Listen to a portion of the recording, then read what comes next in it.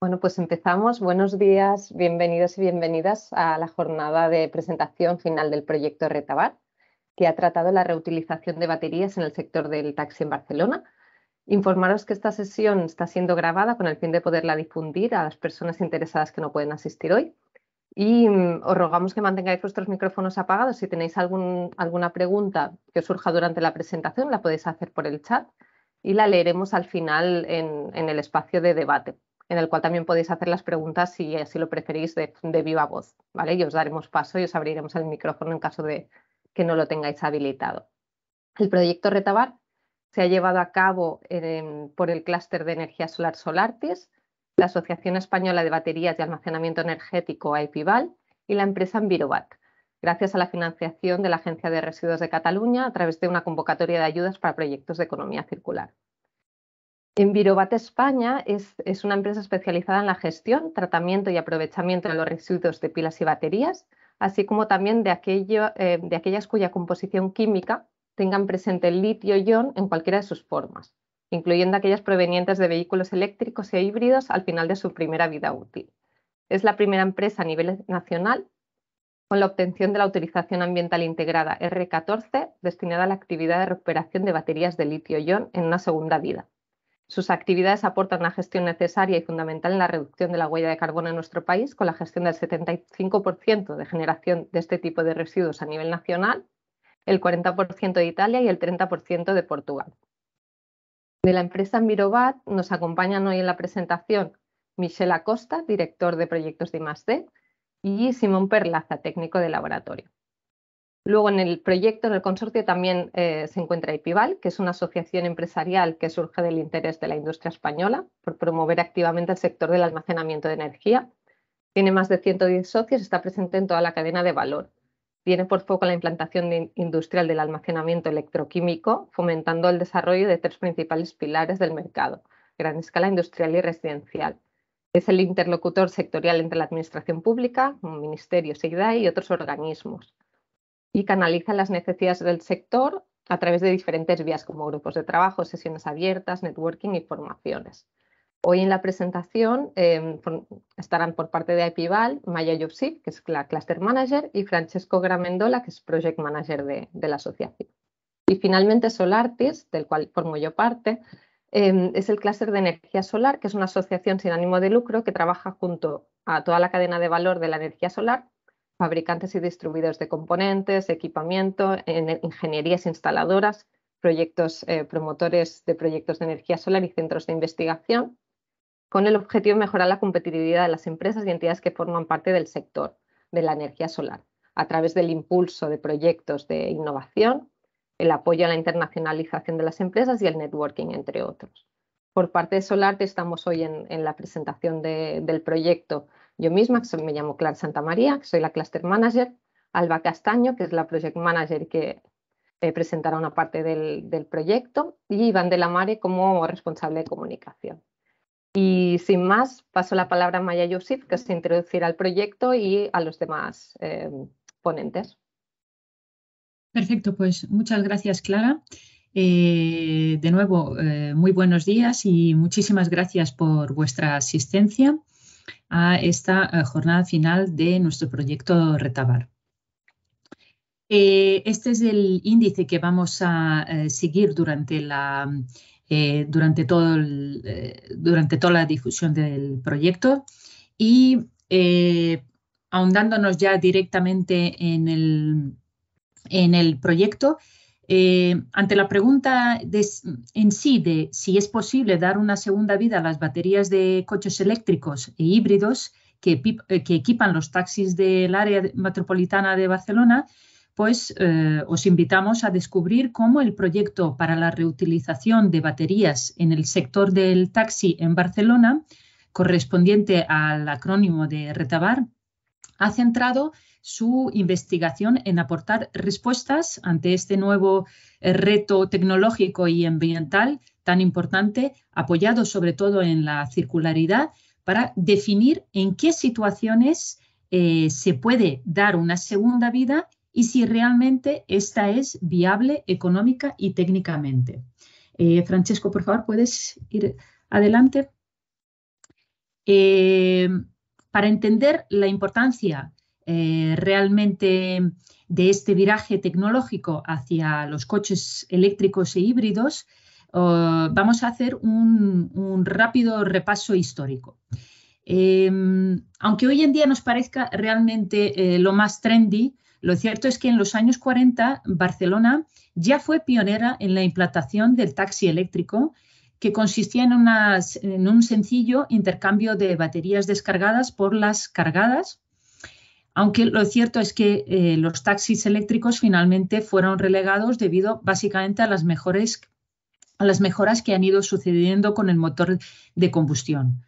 Em, con la llegada de, digamos, el nuevo milenio y ante todo la eh, concienciación eh, social sobre el cambio climático y la descarbonización enfocada, eso sí, en la movilidad sostenible, seguido de, de un cada vez más elevado grado de aceptación por parte de la ciudadanía, Cataluña decide adoptar eh, nuevas medidas. Y es que en el año 2015 el Departamento de Territorio y Sostenibilidad de la Generalitat fija como objetivo de cara al 2020 que el 15% de los taxis del área metropolitana sean exclusivamente eléctricos así como que el 50% tengan un uso de combustibles alternativos. Eh, en consecuencia a estas medidas, el, Ayuntamiento de Barcelona, junto con el Instituto Metropolitano de Taxi, y aquí los catalanoparlantes me vais a perdonar por mi, eh, por mi acento, eh, deciden limitar la concesión de licencias de coches diésel hasta el año 2019 y únicamente eh, homologar coches eléctricos a partir del año 2024. En ese sentido, ¿por qué creemos que, por qué se implementan realmente esas medidas o cuáles son más bien sus ventajas? Pues son varias. Entre ellas, que por todos es conocido que las baterías de litio-ion son más ligeras y menos contaminantes que las, eh, que las del plomo. Eh, la ventaja indudable, pues la mejora ambiental y de calidad de vida, a causa sobre todo de la, tanto de la contaminación atmosférica como acústica. Pero también tampoco nos engañemos porque conlleva ciertos inconvenientes como es la pérdida de eficiencia en cuanto a sus ciclos de carga y descarga. En el sector del taxi, eh, que está absolutamente alineado con la estrategia que plantea Cataluña, em, eh, sabéis que posee unos, requerimientos diferentes a los de un vehículo particular, sobre todo y básicamente por, eh, por su dinámica diaria, que es que recorre muchos kilómetros al día, al día, su carga es más frecuente para trayectos más cortos aunque la capacidad de su batería eh, es menos demandante que la del vehículo particular.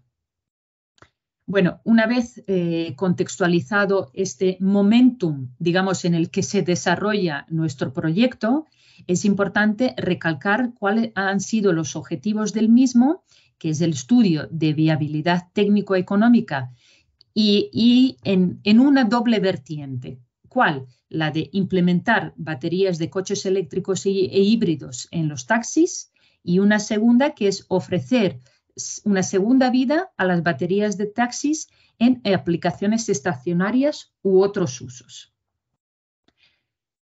Entender mejor, eh, a, continuación os mostraremos unos datos perfilados eh, que se han ido esbozando durante las diferentes etapas del proyecto.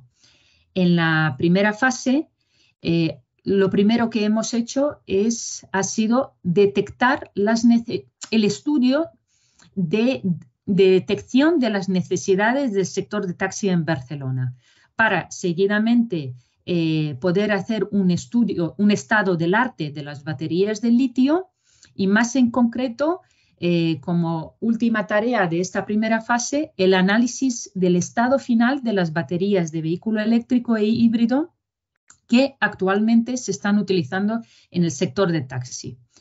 Eh, a continuación, hemos realizado Eh, la segunda fase, que es eh, la elaboración del estudio de viabilidad técnico-económico del uso de, baterías, tanto para, para baterías de segunda vida en el sector de taxi como para una segunda vida en otros posibles usos o aplicaciones estacionarias.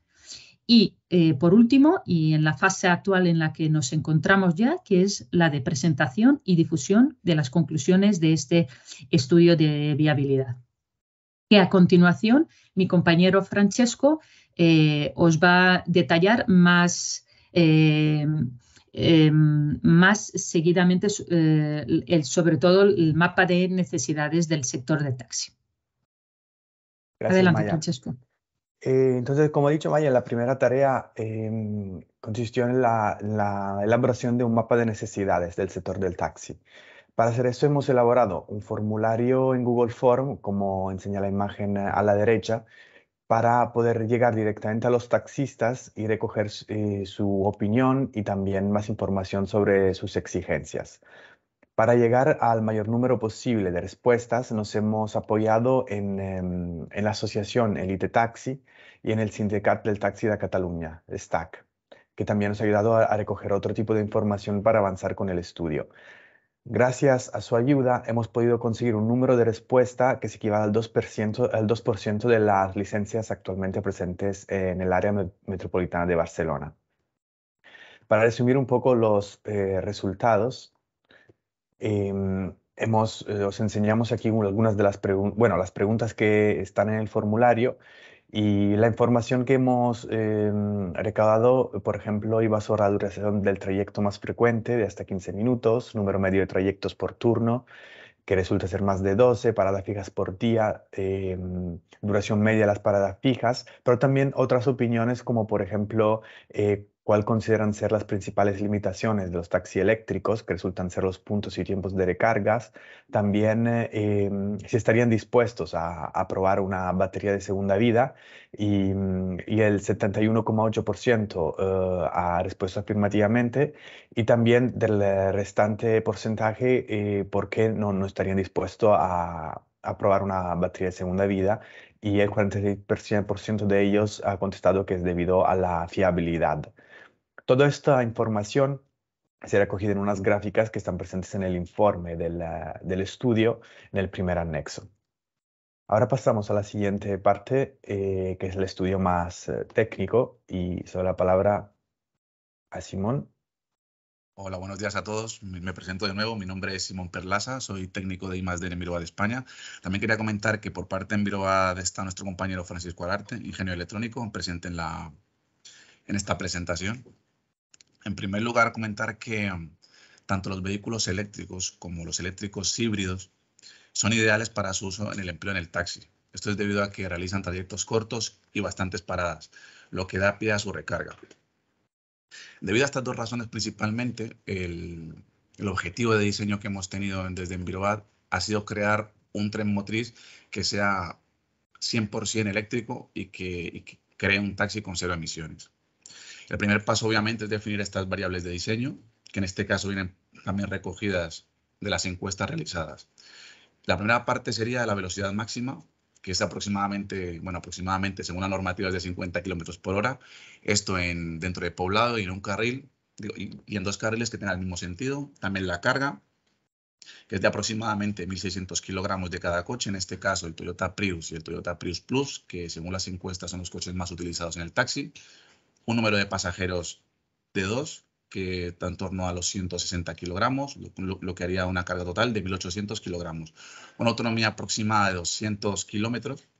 Esto es una, un dato obtenido del Ayuntamiento de Barcelona, en el cual afirman que de estos 200 kilómetros el 60% eh, se realizan con pasajeros, luego serían 120 kilómetros de autonomía, una hora punta de clientes desde las 8 a las 12, la época del año, ya sea verano o invierno, que nos puede afectar atendiendo a parámetros como la temperatura y la humedad, el rendimiento de la batería, la duración del trayecto más frecuente, que son 15 minutos, el número medio de trayectos por turno, que son 12, la duración de las paradas fijas al día, que son dos horas.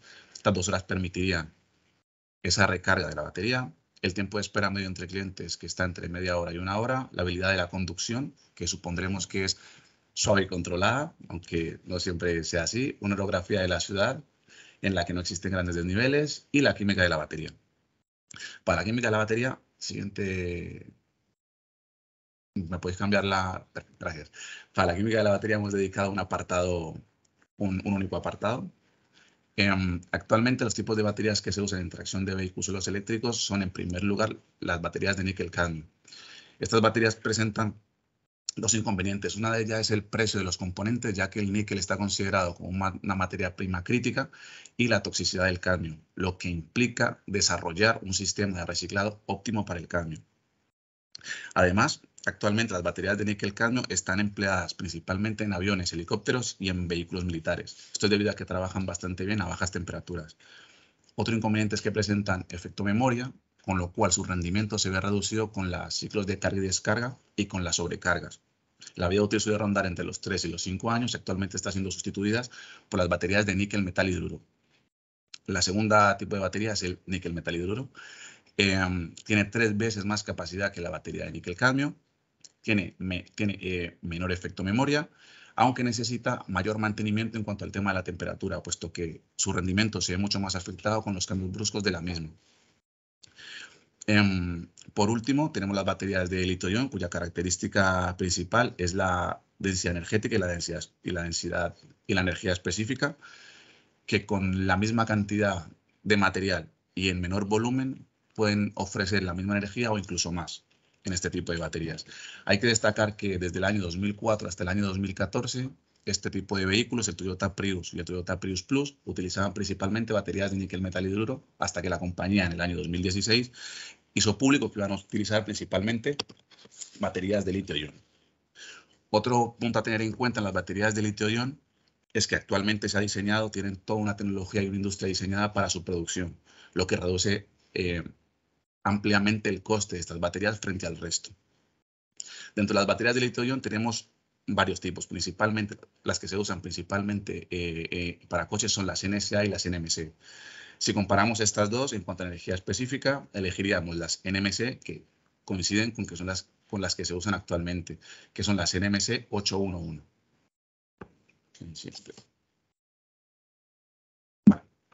ya hemos definido esas condiciones de, trabajo y esas condiciones, esa atmósfera de, de trabajo y rendimiento en la que se va a encontrar la batería.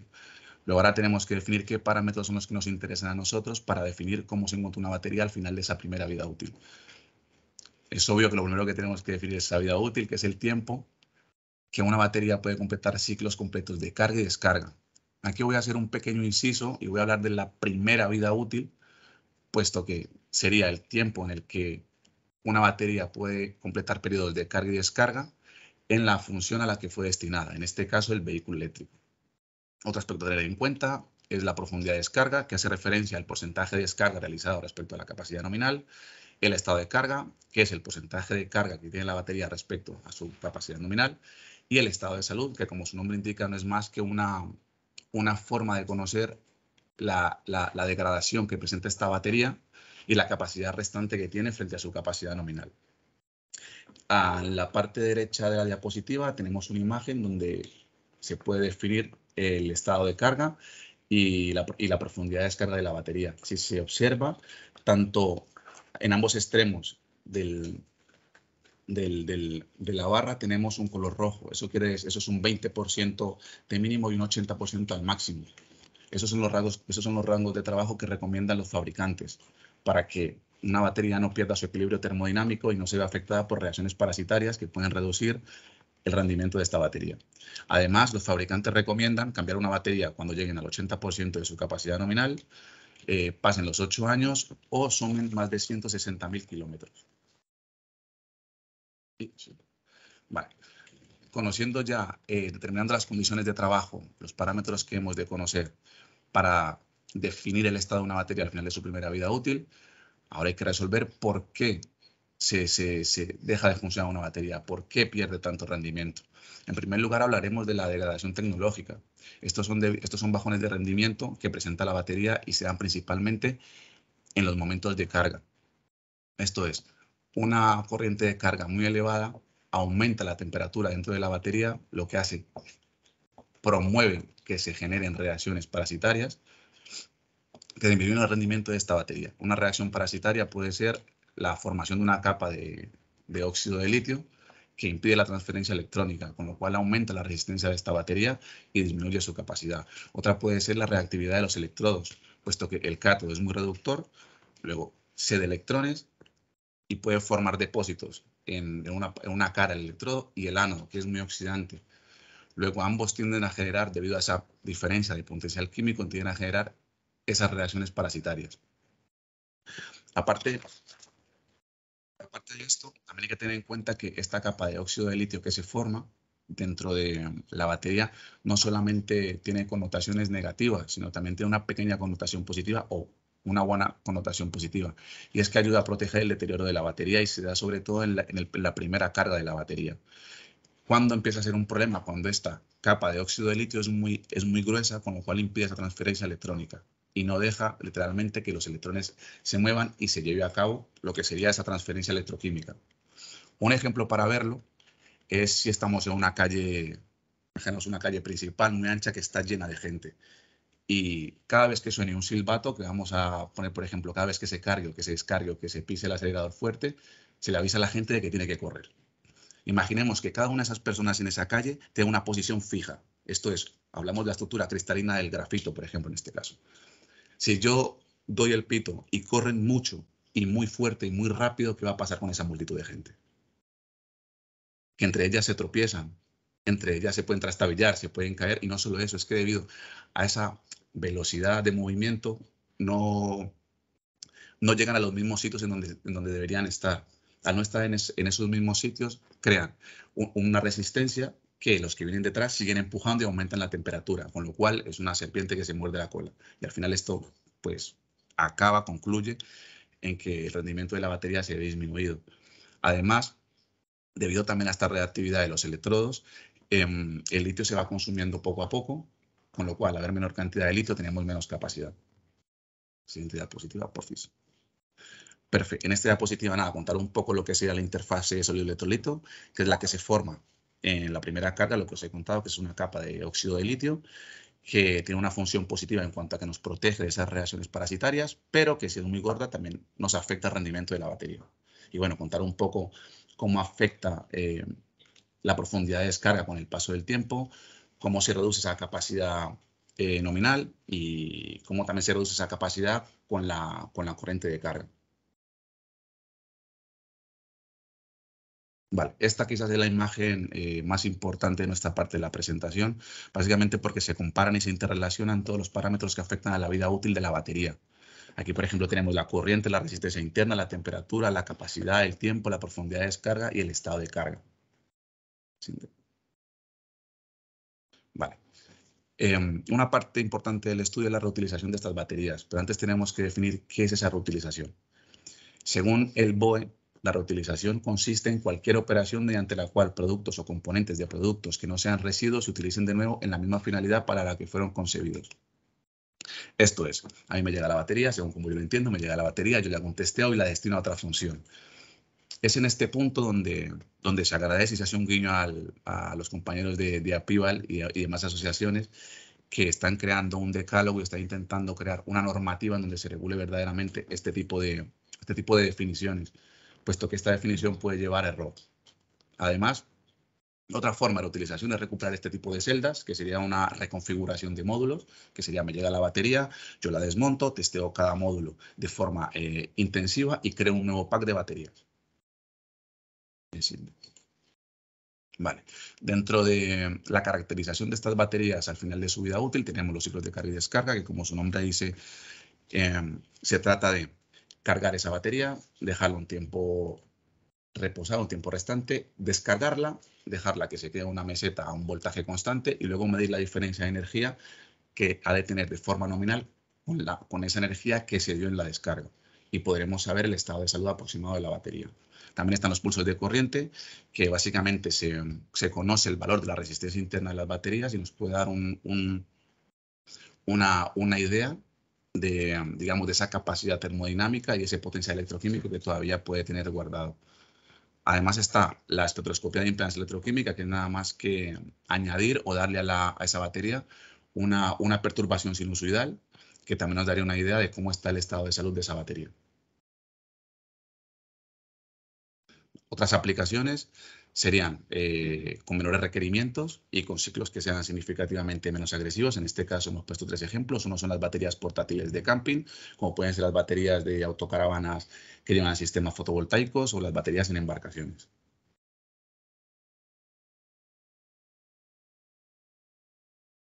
Ok, continúo yo.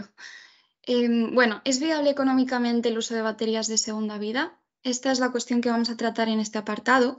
En primer lugar, mi compañero Francesco introducirá la normativa existente relativa a la segunda vida de las baterías. Posteriormente comentaremos la evolución del precio de las baterías en los últimos años. Y por último, estudiaremos los dos supuestos que se planteaban en este proyecto y que son los objetivos principales que ha comentado Maya al principio que son, por un lado, la viabilidad económica del uso de baterías del sector del taxi en otras aplicaciones, entre ellas aplicaciones estacionarias u otros usos, y por otro lado, eh, la viabilidad económica del uso de baterías de segunda vida de vehículos, eh, de vehículos en el sector del taxi. Por lo tanto, ahora, eh, Francesco, si quieres te cedo la palabra para que comentes lo de la normativa. Sí, gracias, Alba. Vale, en este apartado creemos, eh, nos hemos puesto unas preguntas. Eh, primero, ¿cuál es el marco eh, legal para la segunda vida de las baterías de litio y si hay alguna reglamentación a nivel europeo o a nivel español? Pues la conclusión a la que hemos llegado es que la segunda vida de las baterías de litio falta efectivamente un marco legal al, al cual atenerse. Entonces, debido a la alta demanda para este tipo de baterías, han nacido soluciones locales a nivel nacional, por ejemplo, eh, en España por parte de empresas innovadoras como Envirobat, que nos acompaña en la redacción de este eh, informe, con el proyecto To Cycle sobre la segunda vida de baterías de litio.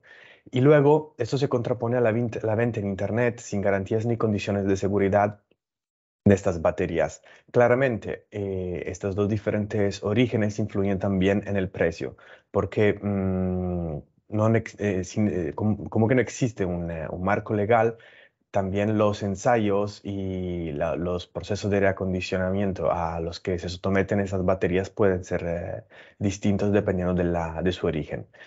A nivel europeo sí que existe un reglamento, el COM 2020-798-3, em, que está redactado para garantizar que las baterías que se comercialicen sean tanto sostenibles como también seguras durante su ciclo de vida, pero por el momento no deja de ser un borrador, entonces a nivel legal no es vinculante.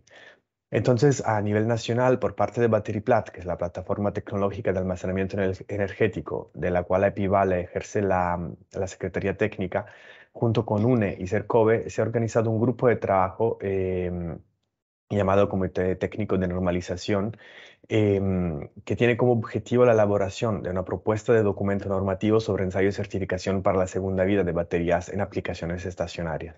En el grupo de trabajo participan también otras entidades y empresas interesadas y que tienen experiencia en este tema y la idea es poder em, proponer un marco normativo para eh, regular y, para que también la, comercialización de, de, las baterías de segunda vida sea más seguro. Ahora seguimos con la parte económica. Alba. Bueno, a continuación queríamos comentar brevemente y para tener un poco de contexto la evolución del precio de las baterías de litio en los últimos años. Como podéis ver en, la imagen, el precio de las baterías se ha ido reduciendo a lo largo de los años, pasando de 1.066 euros kilovatio hora en 2010 a 117 euros kilovatio hora en 2021. Por lo tanto, ha habido una caída importante.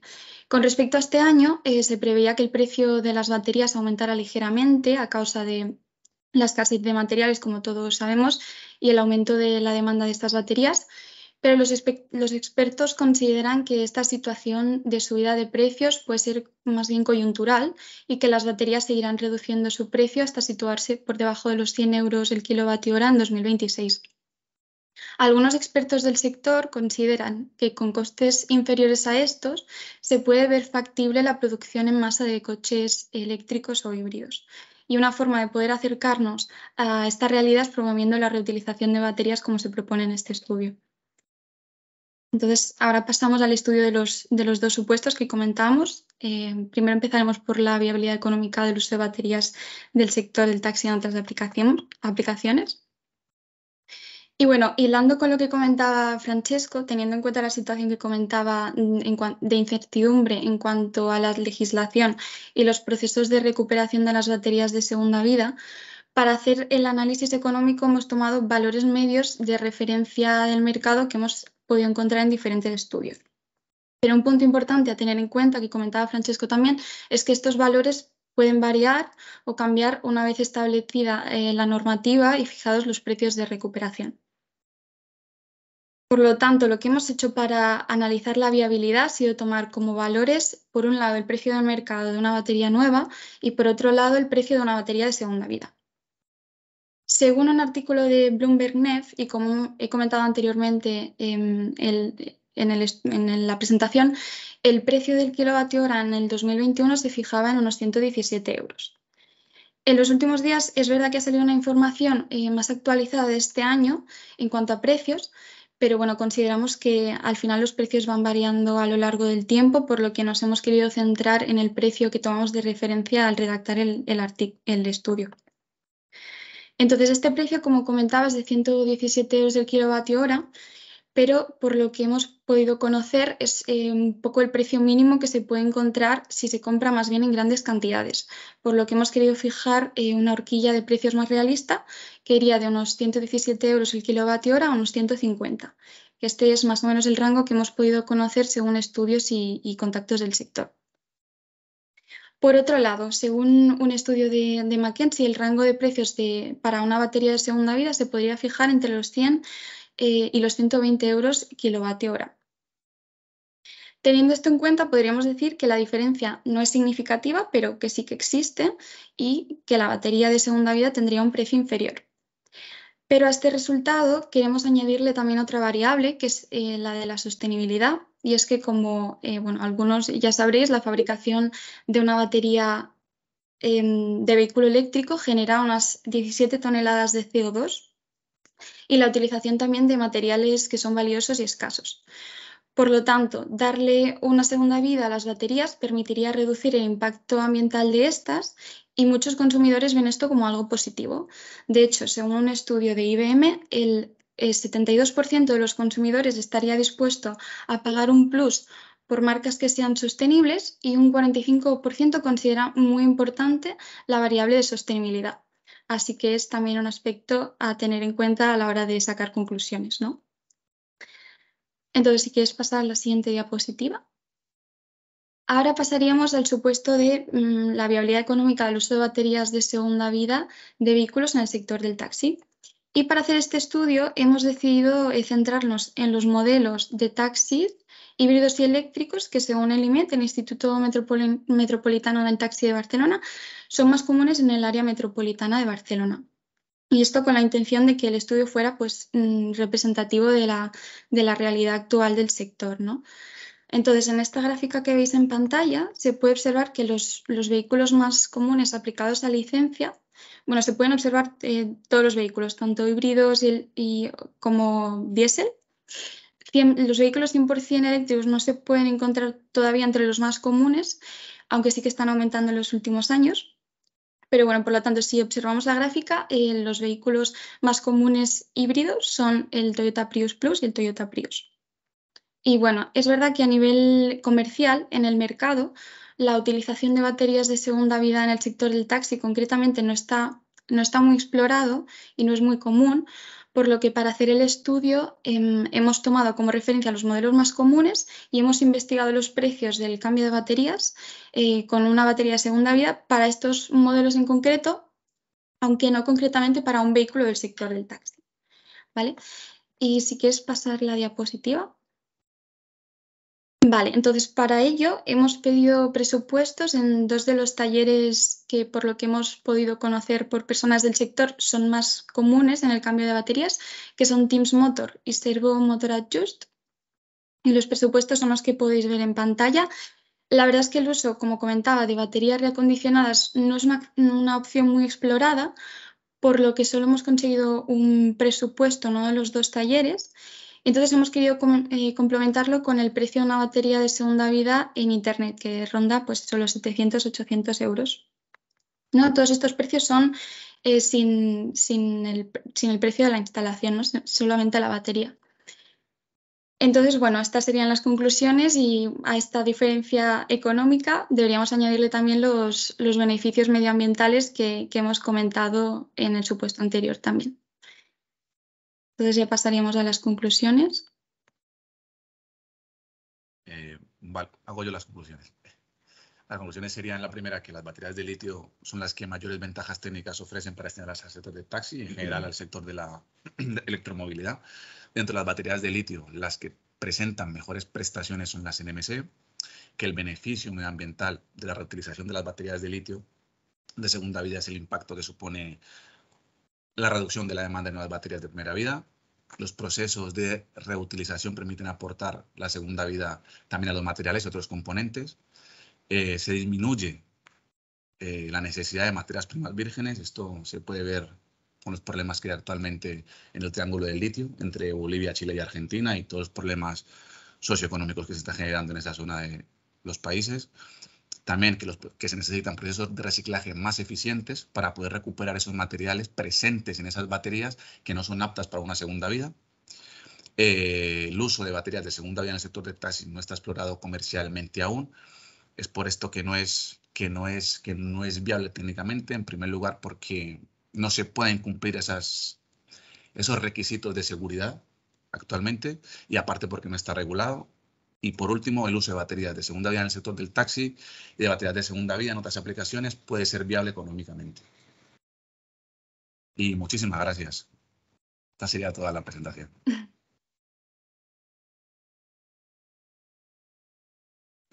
Ahora el turno de preguntas y... Sí. Exacto. Creo que tenemos algunas preguntas por el chat. Perfecto. Sí, vamos a ver. Creo que había algún comentario, alguna pregunta por el chat. Mm, al principio era más bien un comentario, ¿no? Que preguntan si no existen grandes desniveles en Barcelona. Sí, ha respondido mi compañero Francisco a la mm. pregunta. Perfecto. Vale, y después había una pregunta de, Gabriela Benviste. Pregunta, ¿los costes indicados para segunda vida incluyen posibles actividades de acondicionamiento de la batería o desmontaje testeo del IREC? Mm.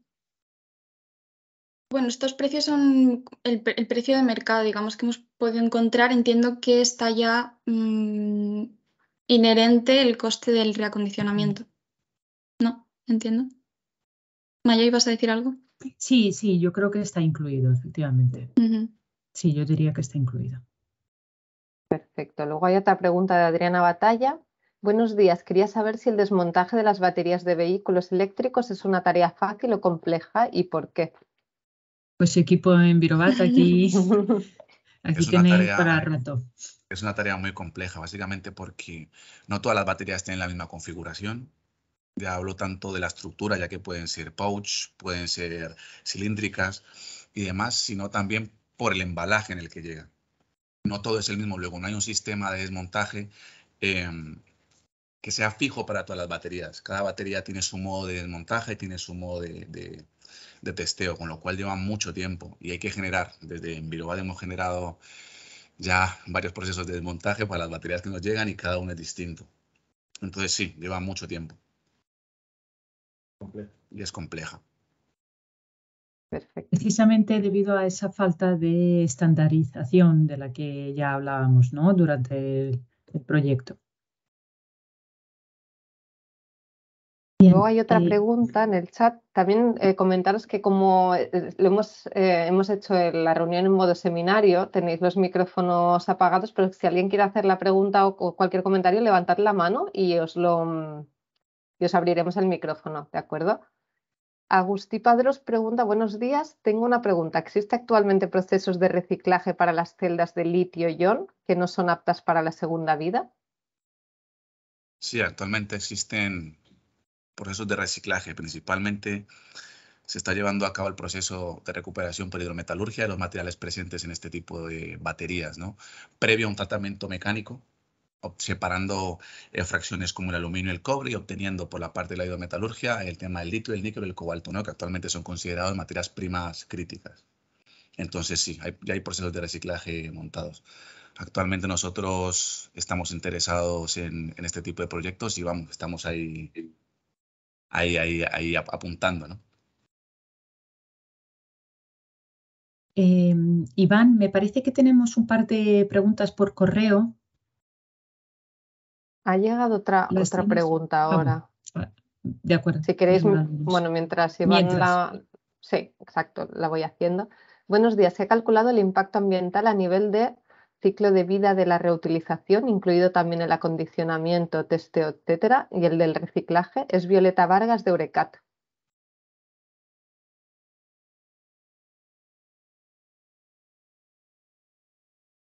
Vale, eh, sí, que está, sí que está calculado, pero lo tenemos en, la gráfica.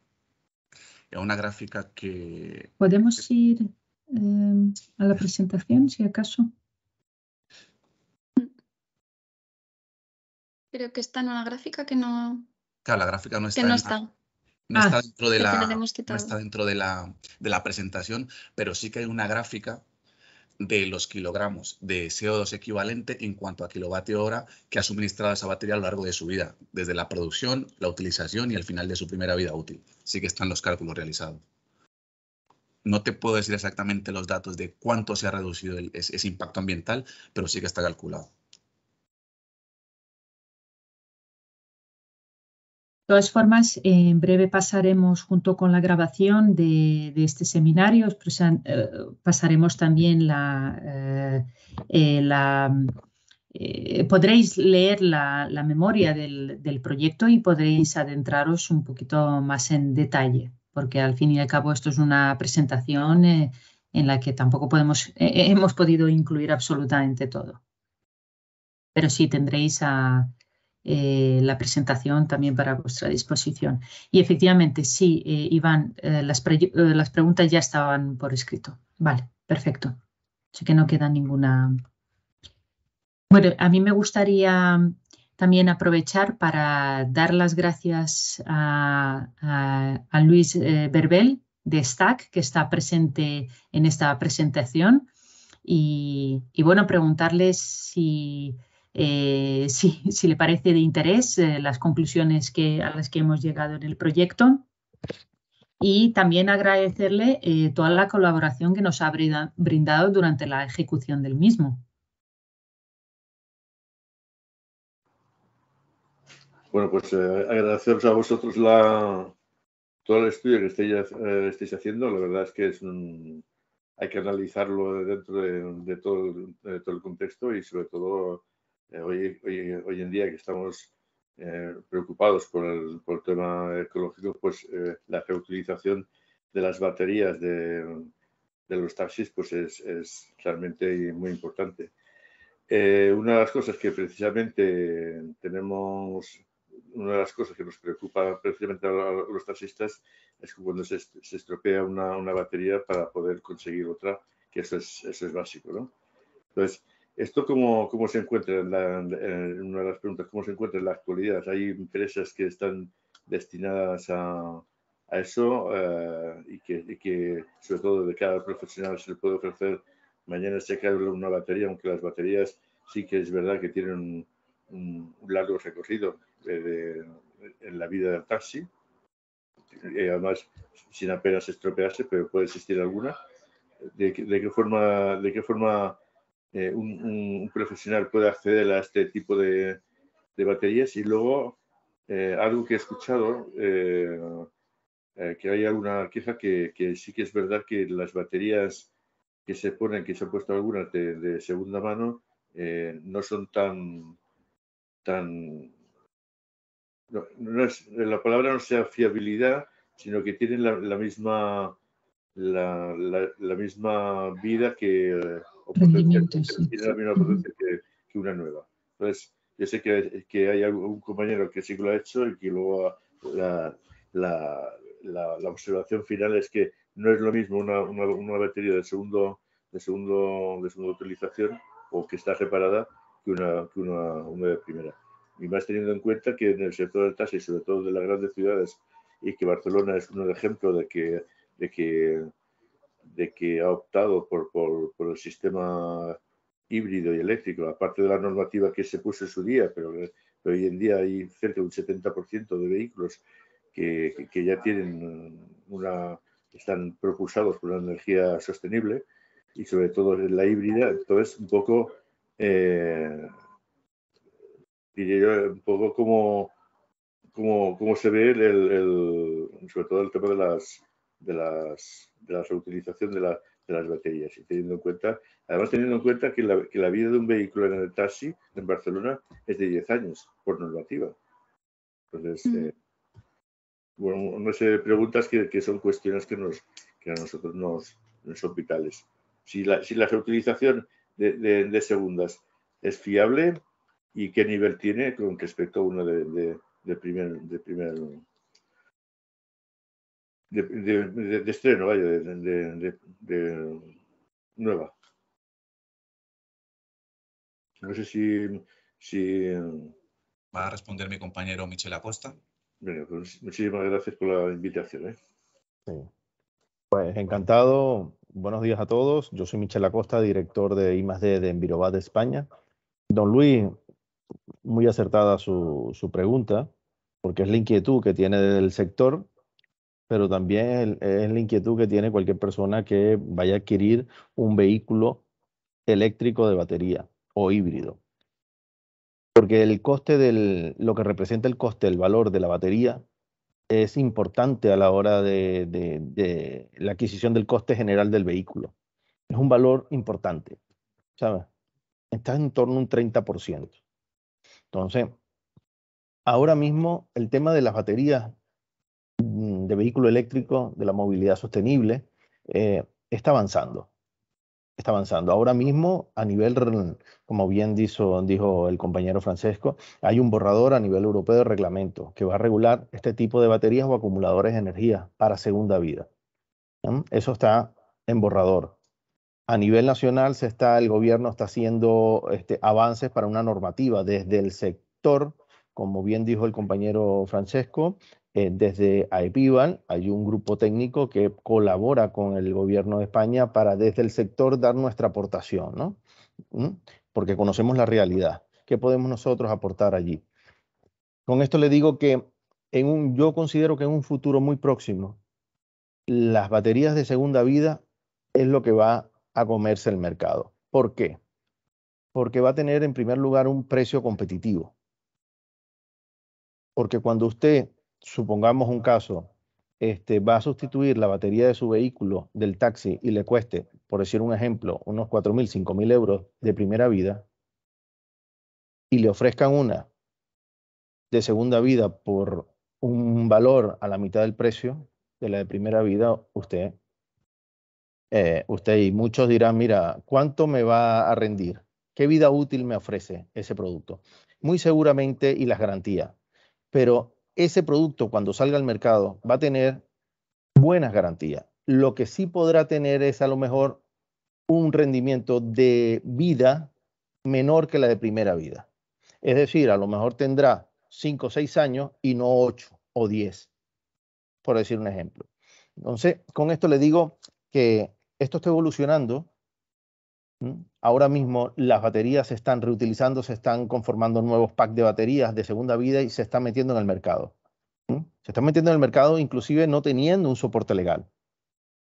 Se venden inclusive como si fuesen de primera vida, sabiendo que son de segunda vida, porque no hay un reglamento, un marco jurídico. Pero se deja claro de que este, su vida útil estaría en torno entre 6 a 8 años que a lo mejor en el rendimiento, dependiendo del rendimiento y las prestaciones que se le dé, puede llegar a 10 a 12 años. Pero siendo prudentes, el productor tendrá que establecer un, siendo prudente, ser responsable, un marco de, vida útil, ¿no? de esa segunda vida. Con esto le digo que cuando en el futuro próximo esas baterías tengan una química estándar, universal, una, un embalaje estándar y universal, ya entonces ya bien sea Mercedes, bien sea Nissan, bien sea Jeep, no cada una va a tener su modelo y su estándar, sino va a ser, no un modelo específico, sino universal. De manera que sea, que sea mucho más fácil para fomentar la reutilización. Porque si, si, apostamos por la reutilización, como usted bien dice, que todos este, somos conscientes del, cambio climático, de que debemos apostar por lo ecológico, y porque en definitiva es un problema de todos y no es, no es un simple eslogan, este, al reutilizarlo estamos automáticamente dejando de meter en el mercado baterías de primera vida, que a su vez, para fabricarla, extraen minerales extractivas de la minería extractiva. Entonces, eso ocasiona un daño. Por cada, por cada tonelada de litio se fabrican 20 baterías de vehículo eléctrico. Solo 20. Y para conseguir una tonelada de litio se, se gastan 20 toneladas de agua. Todos esos son datos. Entonces, si nosotros reutilizamos, prolongamos su vida útil, le damos más valor a, esa, a ese producto, que en este caso sería una batería. Entonces, yo, yo, mm, que haya ahora mismo empresas que se dediquen a eso para ofrecerlas, incluirlas en el mm, sector del taxi, en este momento yo lo desconozco, porque como es un, mercado que está innovándose, en este momento lo desconozco. Eh, es posible, como bien ha dicho la compañera, que han tenido investigando, estudiando, y hay talleres que reacondicionan batería y la colocan en otros vehículos eléctricos. Pero que la hayan hecho para exclusivamente el sector del taxi, yo lo desconozco. ¿Sabes? Entonces, pero es muy posible que en el muy corto tiempo lo veamos. Lo veamos. Sí. Si respondí a su pregunta, espero.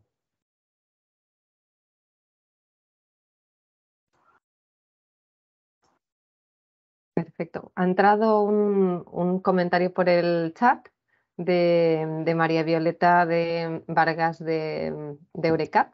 Dice muchas gracias por la respuesta y por la presentación. Es un estudio muy interesante. Por la respuesta he entendido que se ha estudiado el impacto ambiental hasta el final de la primera vida de la batería. Sería interesante estudiar también el testeo, acondicionamiento, preparación para la segunda vida, el uso durante la segunda vida y el fin de segunda vida. Pues sin duda, muchas gracias María Violeta por tu sugerencia. Eh, eh, seguramente, eh, pues oye, sería el colofón a este proyecto, sin duda, de cara a, posible segunda convocatoria. veremos, efectivamente, sería yo creo que la guinda del pastel, estudiar el, fin de esa segunda vida eh, pero e, en, este momento, desde luego, eh, en esta convocatoria no era el, objetivo del proyecto, pero lo tendremos en cuenta. Me parece muy interesante tu propuesta. Nada más, si no hay ninguna pregunta más y vamos bastante bien sobre el tiempo, eh, a mí me gustaría agradeceros a todos y cada uno por vuestra asistencia. Por, haber seguido tan atentamente eh, las conclusiones de este proyecto que nos ha llevado, eh, que ha estado en ejecución todo este año. Y también me gustaría darle las gracias a la Agencia de Residuos Catalana por, por abrir este tipo de convocatorias, por darle vida y sobre todo por tener la concienciación y la sensibilidad de ofrecerle a las empresas para poder estudiar estos temas de, impacto eh, que en el futuro, cada vez con, la entrada eh, del futuro parque de, coches eléctricos, eh, cada vez será más importante. Así que nada, os agradezco de nuevo a, todos y desearos eh, por supuesto, unas felices fiestas. Sí, colgaremos la presentación, Luis, eh, y además te la pasaremos, efectivamente, colgaremos la, presentación, pasaremos la grabación y os la pasaremos también a todos los asistentes.